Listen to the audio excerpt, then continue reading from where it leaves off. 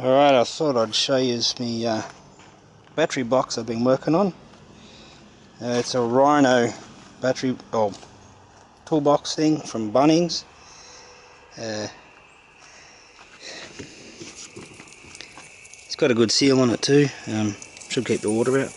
Uh, I've got a Trojan battery there, it's a 100 amp that one. Uh,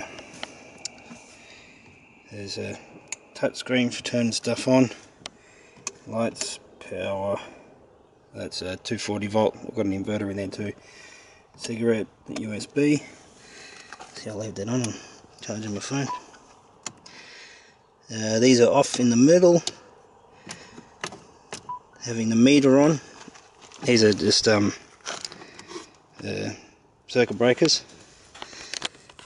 I've got six USB on this side, also a meter and uh, those switches are just so um, I can just have the USBs running without having that meter on too. And um, uh, 240 240 the um, inverter's uh, 600 watt. That's down the bottom. I've got an Epever um, solar controller in there with the uh, Bluetooth module wiring could use a bit of uh, neatening up but it's all in there at the moment. This side I got um which one is it? Oh, I've got to turn it on. Yeah I've got three cigarette that one's for lights that's it's on a separate circuit. That one.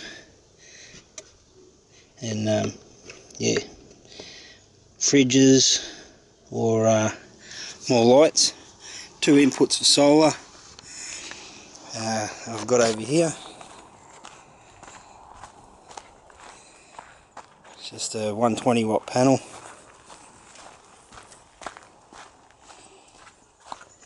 And uh, yeah, you got a with the Epever solar controller, you got the uh, app, and via Bluetooth you can um, see what it's doing. I'll just update it. Dum de dum.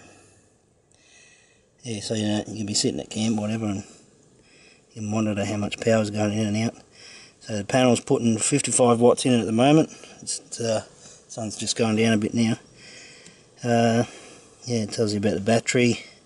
Also load. I've got 10 watts coming out, charging my phone. Uh, 55 going in. But yeah, yeah, that's about it. I don't know what it cost me, but it, it all added up in the end, I think. But uh, yeah, good little setup. And uh, yeah, it all fit. Got the inverter underneath, solar controller down there. That um, yeah, should be good. Good out camping. Anyway,